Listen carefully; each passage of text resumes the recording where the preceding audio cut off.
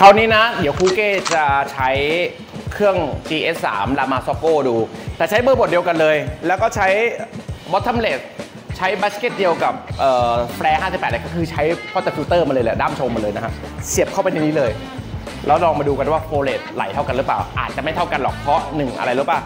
Flair มันใช้แต่ puck screen ตัวนี้มันใช้ shower นี่แหละเล็กๆ น้อยๆเป็นเกร็ดความรู้นะ ว่าถึงแม้จะเป็นบัสเกตเดียวกัน flow rate เวลาตกมาเวลาอาจจะไม่เหมือนกันครับผมอย่าลืมนี่คือวิธีการตบของเขา เขาคิดมาแล้ว มันมันแบบ overall แล้วก็ไม่ไม่ไม่ยุ่งยากด้วย ชอบตรงนี้แหละ ถ้าคุณทำอย่างนี้บ่อยๆอะเครื่องมันจะได้ไม่หืนกาแฟ มันจะไม่ต้องทำความสะอาดบ่อยเนาะโอเลย นี่คือเบอร์บดเดียวกับ Flair เลยนะครับ ก็เป็น 2.3 ขีด อืมจัดไปดูตอนสกัดเลยครับ มาดูช็อตกันเลย ผมจะใช้ตาช่างเป็นตัวหลักนะครับ จะไม่ได้ดูเอ่อเวลาของเครื่อง เพราะว่าเดี๋ยวมันจะไม่เท่ากันกับตัวแฟร์นะครับ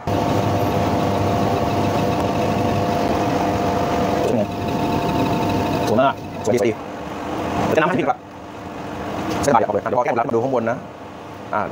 ขึ้นมาดูเลยก็ได้ครับ ตอนนี้เท่าไหร่ละยี่สิบไปยี่สิบเก้าน่าจะ over extraction แล้ว เดี๋ยวลองดูว่ามันมันตัดที่เท่าไหร่ เพราะผมไม่ได้ตั้งน้ำมันมาเฉพาะสามสิบแล้วดูได้เท่าไหร่ สามสามจุดสี่สิบ over extraction แล้ว อันนี้ก็ปรับเบอร์บทให้หยาบลงเห็นไหม ผมกำลังจะแสดงให้ดูว่า ตัวมันเองกับแฟร์เบอร์บทอาจจะไม่เหมือนกันจริง ๆ ด้วย ก็ต้องหยาบกว่าปกติหน่อยอะเรามาเทสโหดน้องโอปุสกันดู เมื่อกี้นี้ผมสกัดแบบร้อนธรรมดานะ คราวนี้เราลองสกัดแบบอุณหภูมิน้ำเย็นเลยดีกว่า ผมปิดเครื่องเลยครับ เข้ามาปิดถอดสายไปเลยก็ได้ อะ โชว์ถอดสายไปนะ มันก็จะกลายเป็นเครื่องแมนนวลหนึ่งเครื่องแล้ว แล้วก็เดี๋ยวคราวนี้ผมจะระบดแต่บดละเอียดกว่าเดิมหลายเท่านะ เพราะฉะนั้นผมจะลองให้มันละเอียดละเอียดไปเลยดีกว่าเนาะลองดูเบอร์ 2 ไปเลยดีกว่า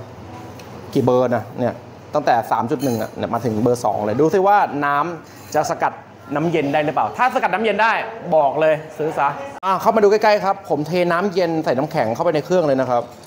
แล้วก็เดี๋ยวรอให้อุณหภูมิมันกลับมาปกติก่อน แล้วก็เดี๋ยวเราสกัดจริงก็ใส่น้ำเย็นเลย เป็นการเทสว่าเครื่องบดอะมันละเอียดพอไหมละเอียดแบบนี้คือมันไม่มีเมนูอะไรที่เขามาสั่งหรอก แต่เนี่ยคือเมนูสูตรลับของการเทสเบอร์บดแล้วก็เหมือนกับโคบลูแต่ไม่ได้สกัดนาน นี่ก็คือรสชาติที่จะได้น้ำตาลของกาแฟล้วนๆนะครับผมผมเผื่อไว้เลยดีกว่า เข้ามาดูนี่ครับใกล้ๆผมว่าเอาให้มันสุดๆไปเลยดีกว่า เบอร์ 1.2 เลย เบอร์ที่เล่นจริงๆ คือ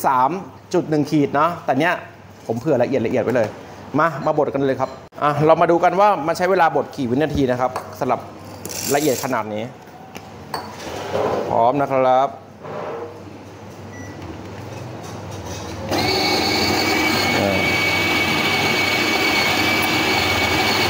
ใช้เวลานานกว่าอยู่แล้วแหละ เพราะว่ามันละเอียดมาก แต่ดูจากตอนเนี้ยไม่มีงองแงเลย เสียงอะไรปกติไม่มีแบบก็ก็อย่างเงี้ยแสดงว่าเฟืองมันไม่ดีมอเตอร์มันไม่ไหว แต่เนี้ยมันไปของมันได้เนาะตอนนี้ผ่านไปแล้ว 35 วินาทีนะครับหมดแล้วจบที่ 40 นี่คือบทน้ำเย็นนะทำงานจริงไม่ต้องขนาดนี้ นี่ตบแบบธรรมดาเลยเนาะลองดูดูความเป็นผงแป้งมันนะครับแป้งแป้งได้เลยอ๋อ มาเดี๋ยวคราวนี้เราสกัดน้ำเย็นตัดมาตอนสกัดเลยครับ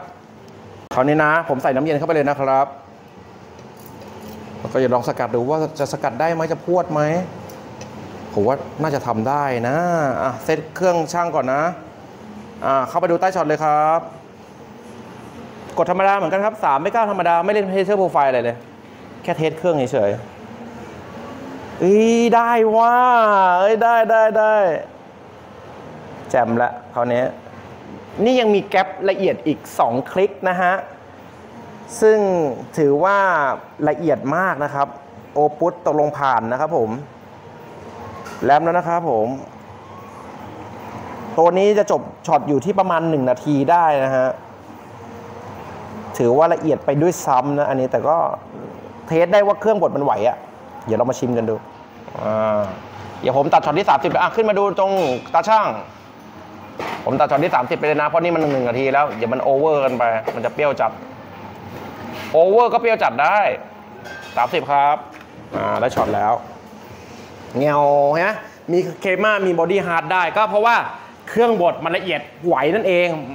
เวลาใช้น้ำเย็นเบอร์บดต้องละเอียดกว่าปกติ เวลาใช้น้ำร้อนบางครั้งมันต้องหยาบกว่าปกติ ต้องหาสมดุลให้เจอนะครับ แต่ละช็อตไม่เหมือนกัน อันนี้มาให้ป้ายยาโดยเฉพาะ ซื้อเครื่องแล้วอยากจะโดนอีก เอาไปชิมกันสองคนนะ เป็นไง โอ้โห สกัดออกมาได้อะเป็นไงล่ะ น้ำตาลหุนหวนๆเหมือนกับกินโคบลูแต่ไม่มีกลิ่นเฟอร์เมนต์หรือกลิ่นหมักนั่นเอง นี่คือเป็นศักยภาพของเครื่องบดนะ เพราะยังไงเครื่องสกัดส่วนใหญ่แล้ว ก็มีแค่แมนนวลที่ทำได้เพราะมันใส่น้ำน้ำน้ำเย็นได้ แต่เครื่องไฟฟ้าใส่ไม่ได้อยู่แล้ว มันผลิตได้แต่น้ำร้อน เป็นไงบ้างครับคุณพ่อ แปลกไหมเห็นไหมนี่คือศักยภาพของเครื่องบดเลย ผ่านแล้วคราวนี้มาลองที่สงสัยกันบดคั่วอ่อนได้ไหมอันนี้ไม่ได้อ่อนพิเศษอ่อนแบบเก่าด้วย ก็แสดงว่าโคตรเหนียวเลยครับผมจัดไป เดี๋ยวครูจะลองเทสนี่ครับเอ่อฟังก์ชันอี30วิของมันอะดูซิว่ามันจะไหลมา กี่กรัมนะครับ ในนี้จำไม่ได้แล้วว่ามันใส่ได้ประมาณกี่กรัมนะ แต่ว่าได้เยอะอยู่อะอะเดี๋ยวลองใส่ดู มันมีโถของมันอยู่ตรงนี้แหละอะสมมุติว่า 3 ช้อนยังไงก็เกิน 20 กรัมอยู่แล้วอะลองมาดูว่า 30 วิมันมันจะได้ไหม ในเวลาที่เครื่องมันเซตมา ก็เนี่ยกดหนึ่งที จบ 30 วิมันจะไหลมากี่กรัมลองดูนะสามสิบวินะครับ อ๋อต้องเปลี่ยนด้วยอ่าเบอร์บทปกตินะ อันนี้เบอร์บทปกติก่อนนะ ปกติอ่ารอไป ลองดู น้องโอปุสอะตัดแล้ว 30 วิ กดช่วยช่วยกดเต็มที่นะ แค่นี้เลย สมมุติว่าอยู่คอนโด เอาตบด้วย ตบหัวด้วย เอาเอามาดูได้เห็นไหมยี่สิบยี่สิบจุดสี่ไม่ไม่ไม่ไม่ต้องใช้เครื่องช่างแล้ว ก็ถือว่าทำงานสะดวกดีเมล็ดก็ยังเหลืออยู่บนนี้อีกนี่ครับ ใส่จุไว้ได้ ผมว่าน่าจะได้ร้อยกว่ากรัมเลยอะไอเนี้ยดีเจ๋งดีชอบตรงนี้ แล้วก็เดี๋ยวมาลองบดคั่วอ่อนกันอีกทีนะครับ อันนี้ก็ได้ ลองชิมกันดีกว่า สกัด Superkop เลยดีกว่าไอนี่เอามาลอง test เบอร์บดพอดีเลยอะลองดูนะครับ ใส่นี่นี่คือ portafilter ของ Superkop นะฮะมือเลย basket IMS เหมือนกันแต่ว่าตัวนี้เป็น 22 กรัมครับ เพราะว่าเผื่อ shower ของออตัว Superkop ด้วยมันมันลึก ผมก็เลยต้องเผื่อ มันนั่นอย่าไปใส่ 20 กรัมไม่ได้ มาดูก็ใส่นี่เลยครับ โอเค ใส่แล้วเรียบร้อย เอาน้ำใส่เลยครับ มา Superkop กันหน่อยดีกว่า ใส่น้ำสองชั้นนะครับนี่เออขอช็อตพี่หน่อยอ้าลูกมือแปลช็อตไปให้พี่หน่อยครับ ดูนะดูนะ อย่าให้มันเกิดเนี่นะ เสียบเข้าไป เนี่ยถ้าปกติแล้วเราใส่บาสเกตเล็กหรือเดิมๆของมันอะ มันจะใส่ 20 กรัมไม่ได้นะ เราต้องซื้อบาสเกตใหม่ MS ต้องเข้าแล้วบอกเลย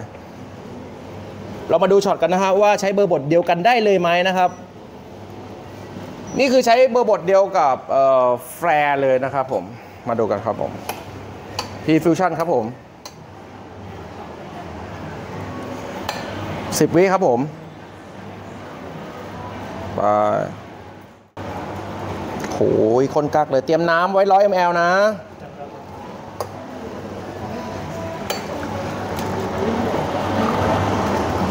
โอ้ยจบเป๊ะเวอร์เอาไป แล้วก็อะไร แดกซะสิ โอเค เอาแบ่งกันแดก เบอร์บทเดียวกันเลยflavor จัดมากนะซับซ้อนด้วยตัวมันเอง ไอ Superkop มันอร่อยง่าย แต่ว่ามันเล่น pressure profile ยาก เพราะว่ามันอาศัยความความคุ้นชินว่าสายน้ำเป็นแบบนี้ถึงจะรสชาติเป็นแบบนี้ แต่ทำงานง่ายดี สาวๆ คนไม่ค่อยมีแรงกดได้ เอ่อ test โหดแบบเก่าเก่าๆดูซิจะบดได้เปล่า แต่คราวนี้ไม่กินนะ แค่บดโชว์เฉย